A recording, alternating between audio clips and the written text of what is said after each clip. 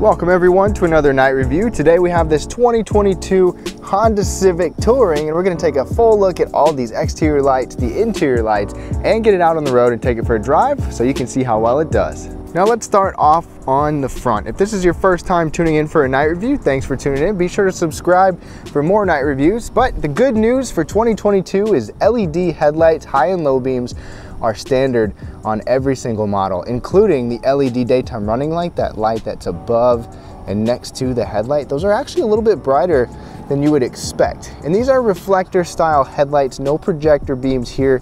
I'll show you how well they actually do in just a second.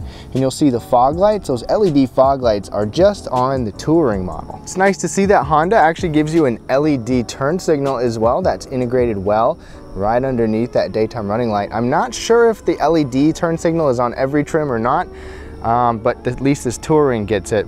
Then you'll see the amber colored marker light right there on the side. And for more details, be sure to check out my daytime review in the description below. But you see the turn signal in the mirror, that's just on the Touring, the LED signal in the mirror. So I'm wondering if that's the same case with that blinker in the front. But as you know, this is a brand new design and this is the Lunar Silver paint. And what do you think of the design? What do you think of the paint? Again, check out my full review for more details. And then on the back, every trim level is gonna give you LED taillight and brake lights as well. But even on this Touring, you still get the standard incandescent bulb for the turn signal. At least it's amber color.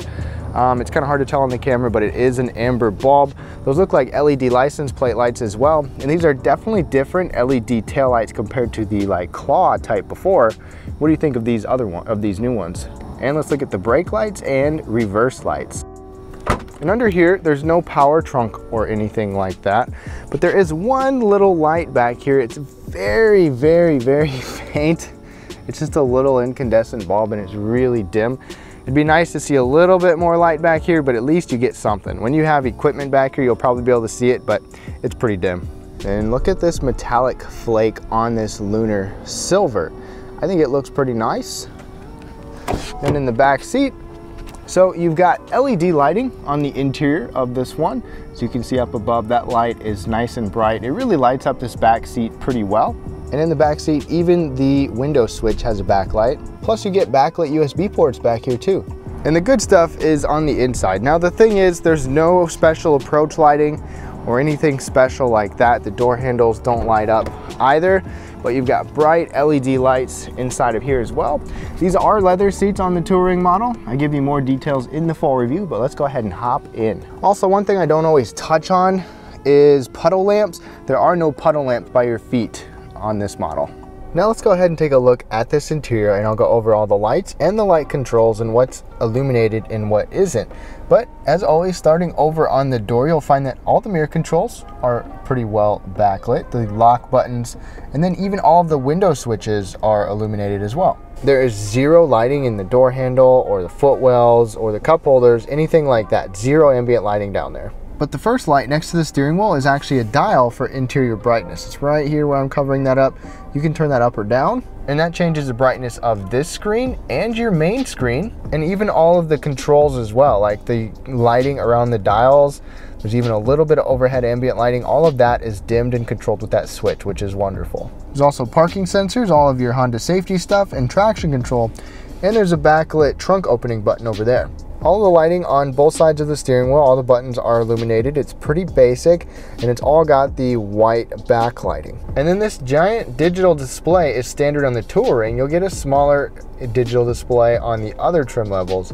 I'll go into this in a little bit more detail in the full review, but this is nice and bright and vibrant and very clear and easy to see with quite a bit of information that you can see and it's semi-customizable. And then the main screen over here, this is a nine inch screen here. You'll get a seven inch screen on all of the lower trims, but this Touring gives us the top 9-inch screen. And you can see you've got a couple of physical buttons on the left, including this nice ring around the volume and power knob, even seeking button. So I'm glad to see a volume knob from Honda. Never know if you're gonna get that. But the screen is easy to see. It's easy to operate. You have a home button. It looks very similar to other Honda products. And again, I'll go through more details in a little bit in the full review. But if you go to vehicle settings, and then we go to lighting setup. This is where you can turn off your automatic high beams, which I'll go through in a little bit. Same with the lighting sensitivity, but that's really about it. You can't adjust much else with the headlights. Now the headlights are all controlled with this switch on the left. You can keep it on automatic mode, and then the automatic high beams can kick on. Um, you can move it forward for high beams or you know pull it back for quick high beams parking lights or running lights and then your regular headlights or you can turn them all off by going into that. Your fog light control right here. And by the way, this Apple CarPlay and Android Auto is wireless on this top touring trim. And down below, you saw just a second ago, you've got all these illuminated rings, which look really nice, very crisp. This is the dual zone climate control down here, all of the buttons. Plus you've even got a couple of backlit USB ports and a nice soft gentle light of ambient lighting on the wireless charging mat. That is a wireless charging mat down there or a little storage area if you want to use it as that. That charging mat is just on the touring trim. And then right here you can kind of see there's a little bit of light. So you've got your shifter controls, a couple illuminated buttons that I'll show you in a second, but there's a little bit of overhead ambient lighting coming down on there. So I have it covered up and then I uncovered it. You can tell a little bit of a difference and when it's really dark, it actually makes a pretty big difference. It's right up overhead, so you've got this light and this light. So it's nice that Honda added this. I'm not sure what trim levels, I couldn't find any information, but obviously we have it on the Touring. Maybe you have it on lower trims, I'm not sure. But you also have individual light controls. These are LED lights. They are actually really bright. I'll show you in a second. Then you can even control whether the lights turn on or don't turn on when you open your door, or you can turn them both on with that. But back down here by the shifter, these are your controls, your drive modes, auto stop start, parking brake, and brake hold. And when you change your drive modes, it can even change the color of your gauges, like sport or green uh, for economy mode. Then going back to the armrest, there is absolutely zero light inside the armrest. Nothing at all. I'd like to see something in there, but there's nothing. And then opening the glove box, there is a light in there. It's not a very big glove box though. And right up overhead, you've got an automatic dimming rearview mirror with garage controls. The auto dimming mirror with garage controls is only on the touring model. It's not totally frameless, but there is a bezel or like an edge that is not dimming. So there can be some light that is annoying on this mirror. And Honda gives you a vanity light as well on every trim. Now a quick look at the headlight beam pattern right in front of us. So the low beams have a pretty good spread all the way across. It's a pretty straight line as well. There's more of a dip once you get off into the distance that I'll show you in a second. Now the high beams, bright right in front, pretty narrow, pretty low high beam. And then off to the side, fog lights right there do give you a little bit of lighting to the side. These are not cornering lights and there's no adaptive function, so you just have the LED high, low beam, and LED fog light. And at the time of this video, there's no IIHS headlight rating, which is a bummer, but I'll give you my best opinion in a bit. Now for a look at long distance with these headlights. So at the end of this parking lot, I've always kind of lined up with those red posts and the fire hydrant, and those are pretty well illuminated, just like most vehicles are. But on the driver's side, that's pretty low and pretty dim. You can't even see the hill with that, so that's kind of a bummer. I'm curious to see how they are on the road. But the high beams, pretty good mostly pretty narrow like they're usually supposed to be, but let's get them out on the road. All right, y'all, let's get going on the test drive of this Honda Civic. So you got to see the headlights up close against the wall and off in the distance, but we'll get them out on the road on some dark roads and see how they do. Now my whole goal with this video is to give you an idea of what it's like to drive this new Civic at nighttime and see whether or not you're comfortable with it, if it meets your expectations or beats your expectations. And I'll give you my inputs and my thoughts on how well they do compared to some other cars too. We'll start with this point of view camera and then we'll switch over to the other camera and get a closer look at the headlights on some dark roads. I'll have the automatic high beams on to start with and we'll kind of turn those off and on and just see how they do in responding to traffic and street lights too. If you want more driving impressions, uh, especially a daytime drive, be sure to check out my daytime review in the description below. But let's go ahead and get pedal down on this turbo four cylinder. and it is paired with the CVT. You've got a little bit of an interesting shift pattern, but it actually pulls pretty hard for being such a little engine. It's really not too bad. Now I have the automatic high beams on. Currently the low beams are on, probably because we have vehicles in front of us, vehicle on the other side. So it's good to see that we haven't blinded anybody yet. And um, for reference, the rearview mirror is automatic dimming on this touring model. The side mirror is not dimming on any model. In overall ambiance, before we get on a dark road, I like it in here. I wish we had a little more ambient lighting in the doors or at our feet or just a little bit of something extra. Like a lot of cars are starting to give you multiple colors options and things like that but it's still nice in here. Everything is backlit. Everything looks good and there's a little bit of ambient lighting coming from overhead which is much much appreciated now that car just went around the corner so it's out of our sight but the street lights are enough to keep the low beams on and keep the high beams off so we'll see how sensitive they are when we get on a dark road now we're about to get on a dark road and I'm gonna leave the automatic high beam function on and let's switch over to the new camera right now. So the low beams, oh, the high beams just kicked on. It's really bright right in front of me and I can see pretty good off into the distance with those. Now I switch to the low beam so you can see the beam pattern.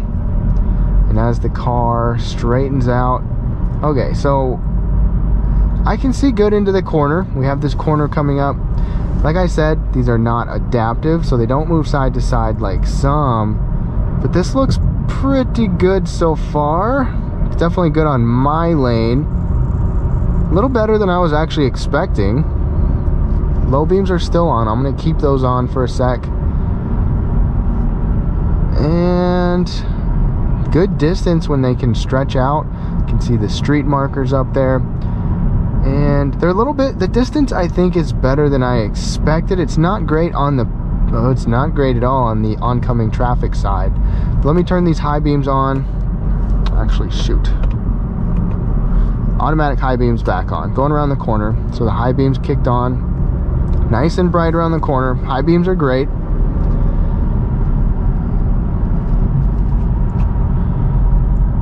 Visibility is good off to the left around that corner too and the high beams are staying on. Oh they just shut off. So that street light actually shut them off and they turned back on. So you can see really far out in front with the high beams.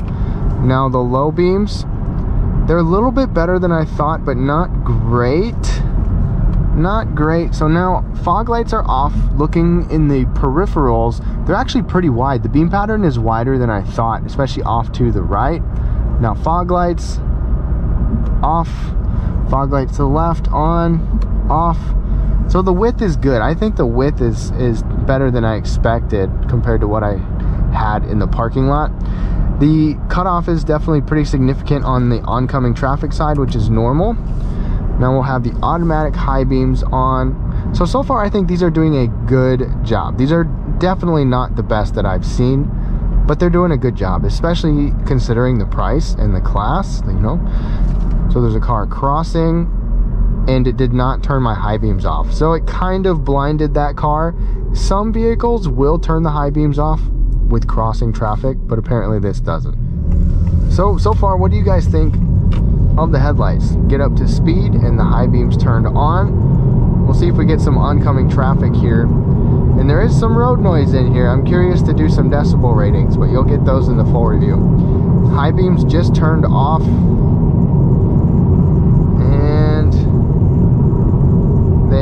are staying off.